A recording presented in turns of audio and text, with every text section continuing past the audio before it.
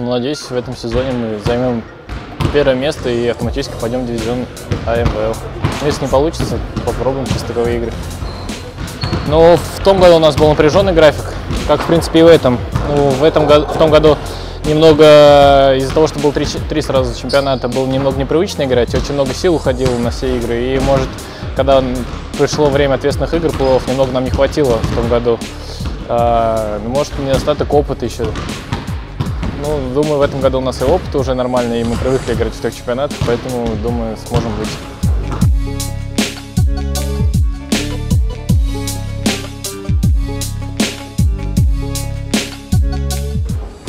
Ну, вообще у меня профессия тренер по баскетболу.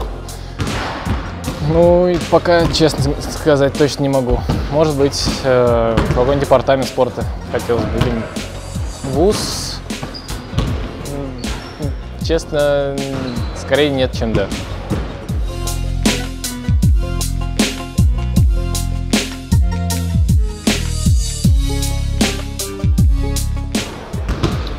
Ну, сейчас пока сложно загадывать. Может, у нас э, изменится состав, может, э, кто-то усилит, может, кто-то уйдет.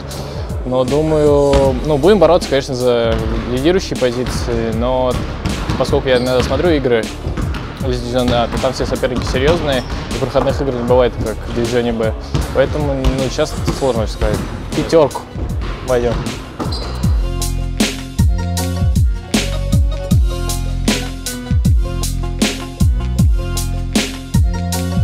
Ну, у нас, в принципе, играют только те, кто учится.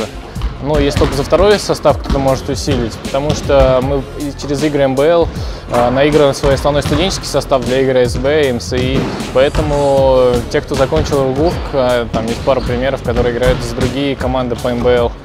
Ну и неплохо себя там демонстрируют. Они могли бы играть, в принципе, но просто они не учатся, и нет смысла такого играть за ГУФК.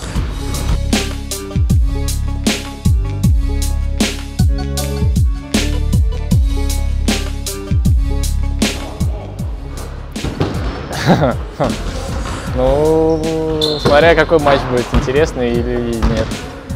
Я, скорее всего, девушку свою тоже возьму баскетбол на баскетболист.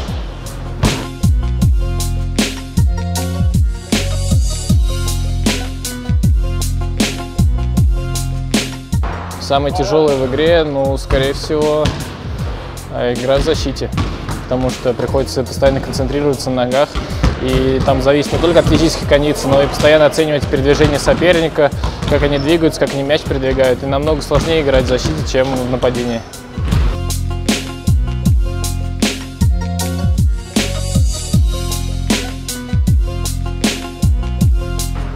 Думаю, да.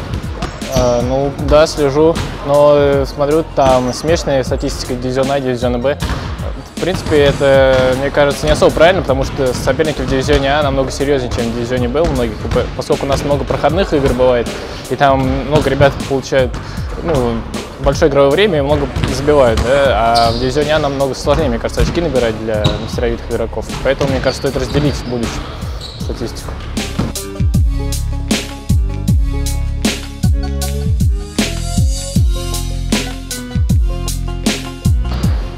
Но ну, серия будет состоять, как в NBA, из четырех побед, из семи матчей. Я думаю, еще будет как минимум 4-3. И довольно равная игра будет, конечно. ГАФ очень сильная команда, Роснефть тоже. Там тоже мастеровитые, более опытные игроки, наверное, чем Малахов.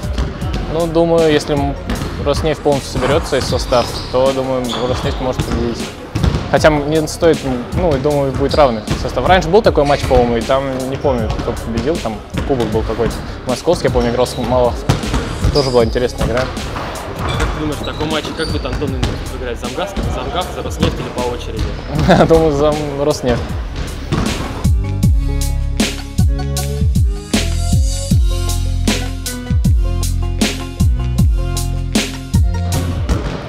Джордан. Ну, во-первых, э, Джордан, можно сказать, легенда, которая в свое время никто ни с кем не сравнивал, да, и был Джордан, и все. А сейчас Леброн постоянно сравнивают с Джорданом, сильнее он его или нет. Э, и вообще, как имя Джордан, мне кажется, в мире намного больше звучит, чем Леброн Джеймс. Даже бренд Джордан, который все носят и так далее. Ну, Не знаю, мне кажется, Джордан.